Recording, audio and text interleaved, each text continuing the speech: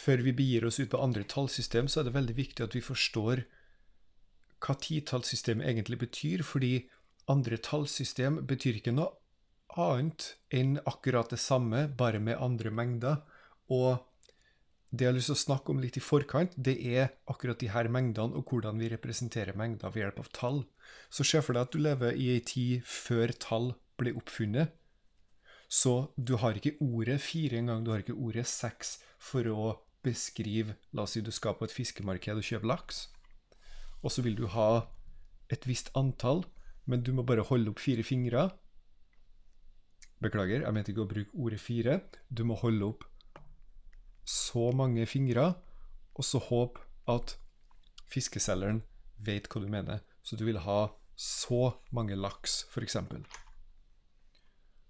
Og så får du så mange. Men hva skjer hvis du vil ha så mange? Og det er ganske klart at vi trenger et bedre system enn det å kunne holde opp fingre, fordi Gud forbyr at du trenger så mange. sant? Da begynner det å bli litt vanskelig. Så vi trenger et system for å representere de her mengdene på en bedre måte. Så greit, vi lager et tegn for hver av de her mengdene. Så la oss si at vi eh, for denne mengden så bruker vi det tegnet. For denne mengden så bruker vi det tegnet. For denne mengden så bruker vi det tegnet. For denne mengden så bruker vi det tegnet, osv. La oss bare fullføre det her.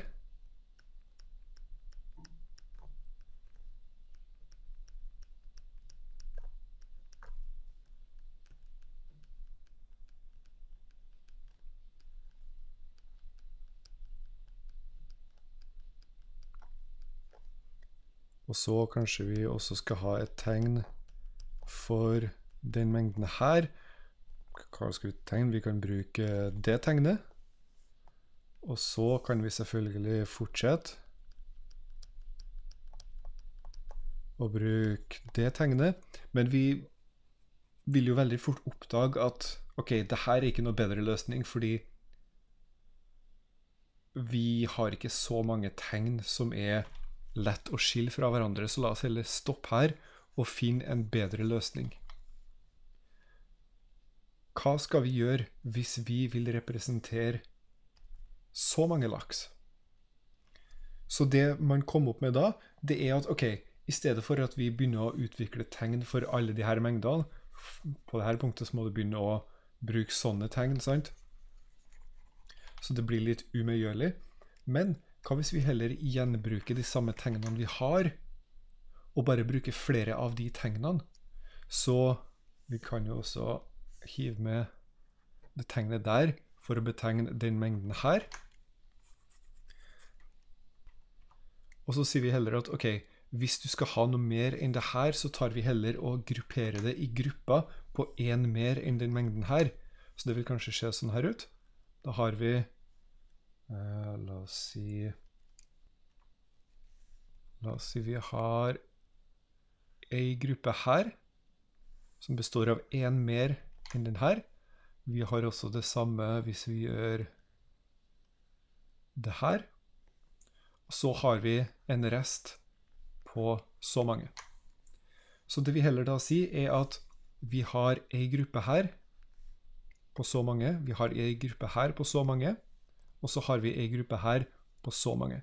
Da tar vi heller og grupperer dem her som ett tall og sier at ok, hvor mange av dem her har vi?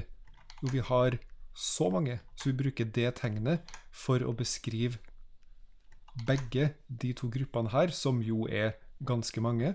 Så vi bruker det tallet for å få med dem to. Og så sier vi at vi har så mange igjen etter vi er ferdig med det.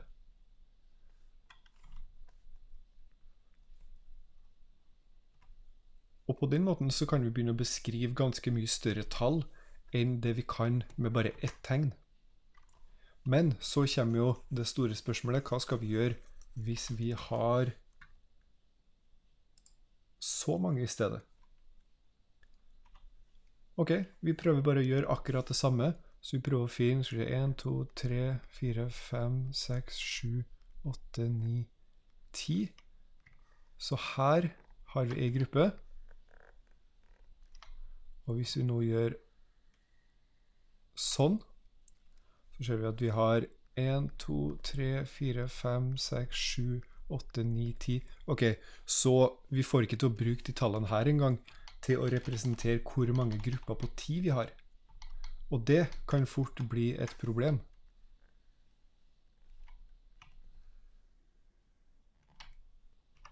Men det trenger ikke å være det, fordi vi kan bruke et tredje tall. Det tallet her representerer hvor mange grupper vi har på grupper av ti. Så hvis vi finner ut at vi har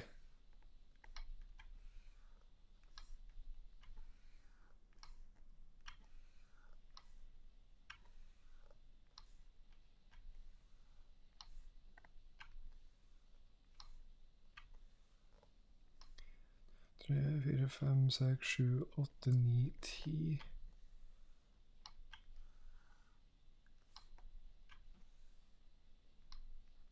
Her vet vi at vi har ti grupper på ti. Og så finner vi ut ok, hvor mange av sånne store grupper har vi. Og vi ser at vi har i hvert fall to av dem. Hvis vi deler dem inn her. Og så ser vi at vi har en til her.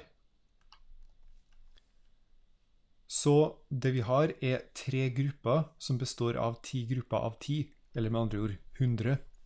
Så vi setter tre der for å beskrive hvor mange sånne store grupper vi har. Og så ser vi at vi har to hele grupper på ti igjen etter det. Så vi har to her. Og så ser vi at det vi står igjen med da, er ni. Og hvis du da utvider det med enda et tegn til høyre her, med f.eks. to, så betyr det at du har to grupper som består av ti sånne store grupper, og det har ikke jeg tenkt å begynne å tegne. Men det samme konseptet fortsetter.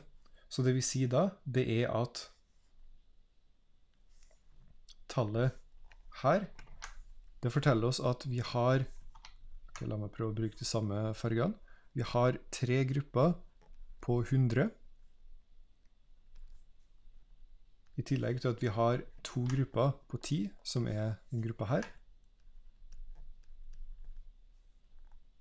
Og til slutt så har vi ni enkeltindivider.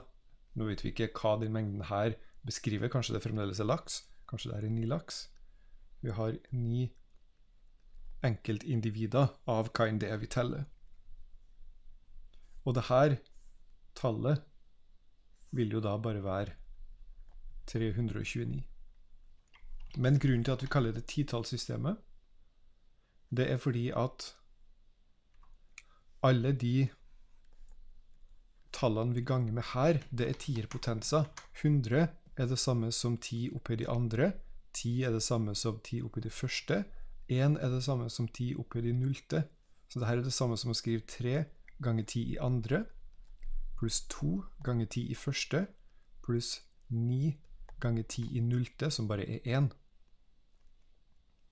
Og det betyr at hver plass her representerer hvor mange vi har av en gitt tierpotens.